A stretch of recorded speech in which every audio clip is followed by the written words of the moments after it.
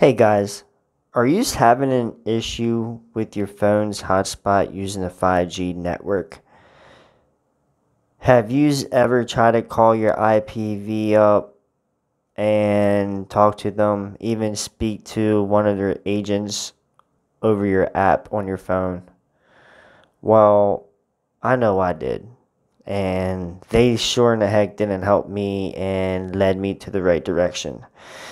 So, if you're somebody who uses your hotspot for video games such as your Xbox One, Xbox 360, or your PS4, or even the new gen consoles, they may not run off your 5G. Especially if you get a new starter kit SIM card from your phone provider. Now, I spent 10 to 12 hours when I got my new 5G SIM card activated. Uh, tried to figure out why my Xbox nor my PS4 would connect to the internet.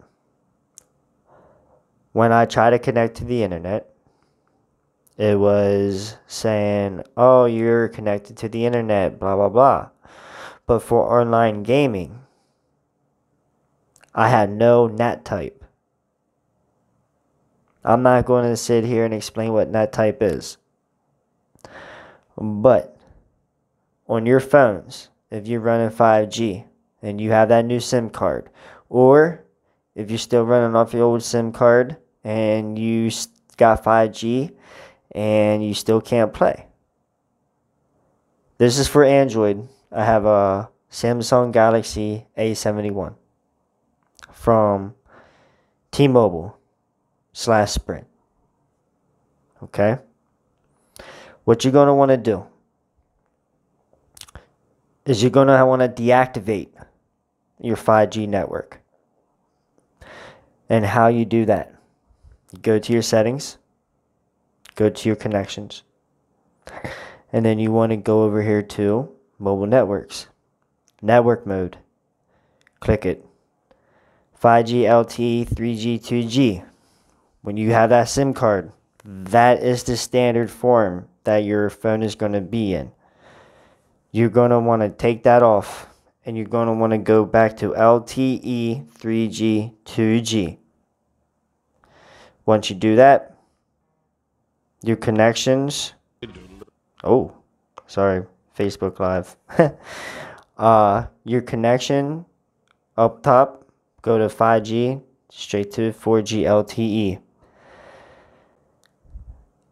When I had 4G before on my Samsung A50, I did not have IPv6. Now I have IPv4 and IPv6. Even if you're going to switch to 4G on your phone from 5G, you will still have IPv4 and IPv6.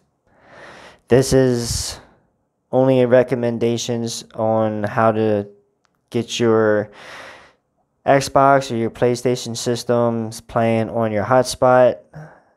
So if you have a 5G network and it says unavailable for your Xbox or your PlayStation, you're definitely going to want to go through this uh, this process. It's the only way.